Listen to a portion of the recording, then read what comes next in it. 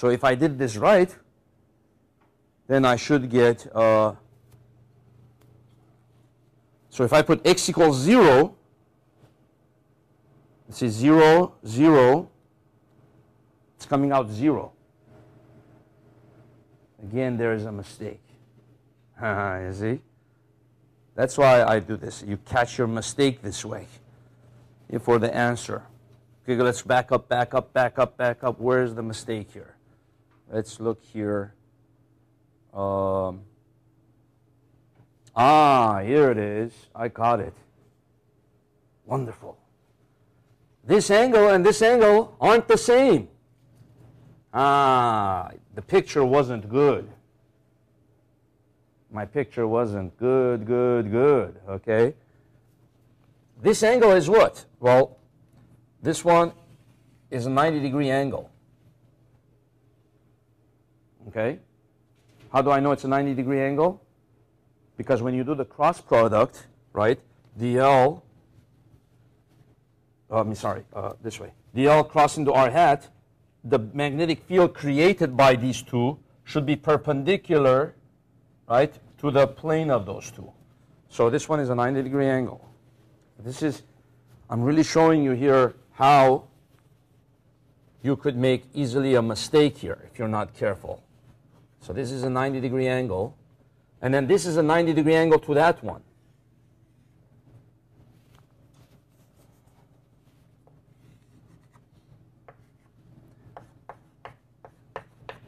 So I sloppily drew it. Therefore, it made me think that this and this are the same. Now let's analyze. If this is theta and I got to take cosine of theta, right, to get the x component. So this angle and then you can draw the vertical like this. This is theta, let's say. This one is 90 minus theta. This is theta. This is 90 minus theta. So this, this is really not theta. It's 90 minus theta. Theta, 90 minus theta, theta.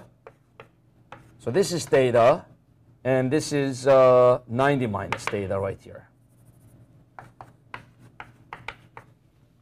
So if I'm going to take cosine of theta, cosine theta, I got to take cosine of this angle, not the cosine of this angle. You see? Wonderful, wonderful, wonderful. I always like this because you get to check your answer, go back and see what you made mistake, where you went wrong. And if your picture is sloppy, you will definitely make a mistake. So cosine of theta is therefore going to be what? Well, this theta is going to be same as this theta, right? So cosine of theta is going to be r divided by little r. So instead of x divided by little r, it's r divided by little r. So where is that going to change? Uh, this is it. It's just going to change this thing. Instead of x, it's going to be r. So what's going to happen? You have R, and then you're going to have R here, and that's going to be pi R, so it's going to be end up being R squared here.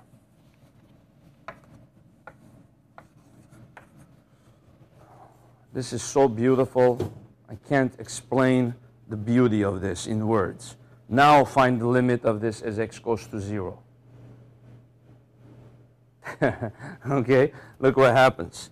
Mu 0 i of r squared over, put x is 0,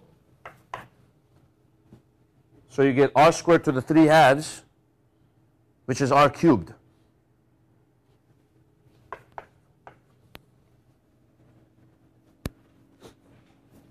Oh, you know what? I forgot the 2 somewhere. I forgot to carry the 2. It was 2 cosine. 2 so this one should be 2. This one should be 2. So I forgot to carry the 2. So this one now is going to be mu 0 i r squared over 2r cubed, which is mu 0 i over 2r. Which is what? That is exactly the same as what we got for the closed loop. Okay? Awesome. That's perfect. So the limit of this as x goes to 0 gives us the same answer for a whole circle. How about the limit of this as x goes to infinity? Again, this becomes a large number, so this is insignificant. So we can see the behavior of this. So this is insignificant. x squared to the 3 halves, that's x cubed. Okay, so that's kind of interesting. It's telling us that the magnetic field of a coil as a function of x when x equals 0, you have the magnetic field starts out at that number. Then as x is incre increasing, it's dropping as some general function. And then as x goes to infinity, it drops as a 1 over x cubed. So which one drops quicker? The magnetic field of a coil away, uh, infinitely far away from the coil, or a line the magnetic field away from the line, infinitely far away. The, the coil drops as 1 over x cubed. The line drops as what?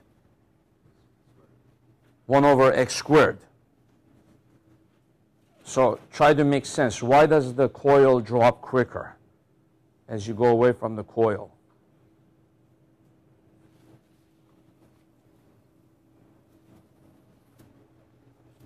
the why is always the hardest question to answer, right?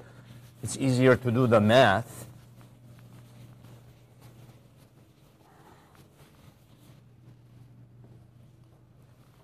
As you go away from it, it looks like maybe as you go away from it, the coil begins looking more like a small little point charge, whereas the line, if I go away from it, it still has uh, some some uh, dimension left to it. I don't know if that's a good answer. Um,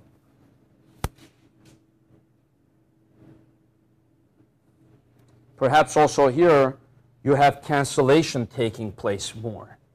Whereas the line, you don't have any cancellation taking place. You see here the y component is canceling. Uh, let's do it this way here. Let, if I go farther out, is there more cancellation taking place? Let's answer it that way. If I go way farther out, what, what's the direction of the B field of this going to be?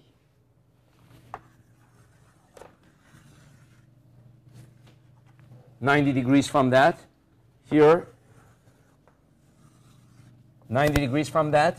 Their y component is going to cancel. Their only their x component survives. There you go. That's the answer. The coil, when you go away from the coil, it cancels itself much faster because primarily the B field is in the y direction. Only the x component survives. For a line, if I go away from it, and the line has a current I, it's carrying a current I, is there any cancellation taking place? No each element of the line, no matter where it is, creates a B field that's in the same direction. They just keep adding. So if I go away from it, there's no cancellation taking place. It's just that I'm getting farther from it. You see? So that explains why it goes as 1 over x squared.